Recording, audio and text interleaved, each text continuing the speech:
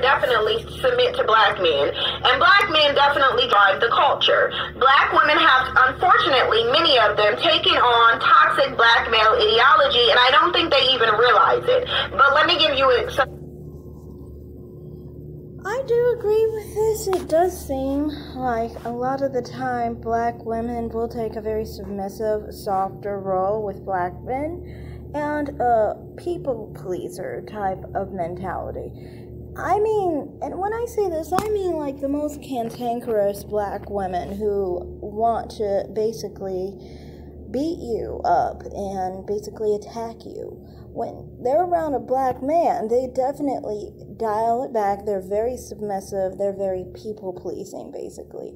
It's like all they want to do is please black men.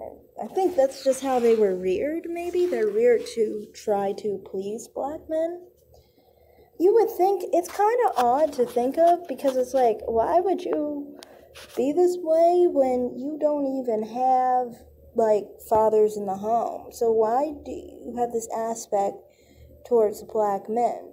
And you weren't even raised with black men. Just a thought. I mean, I don't know.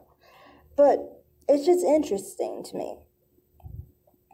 And to me, it kind of looks foolish sometimes to me because sometimes you'll very well see those very black men disrespecting those black women.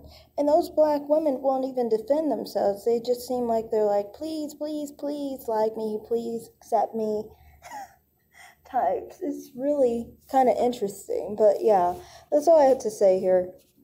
I have more to say, but I'm going to just leave this as a small clip. Like and subscribe, everyone. Comment down below.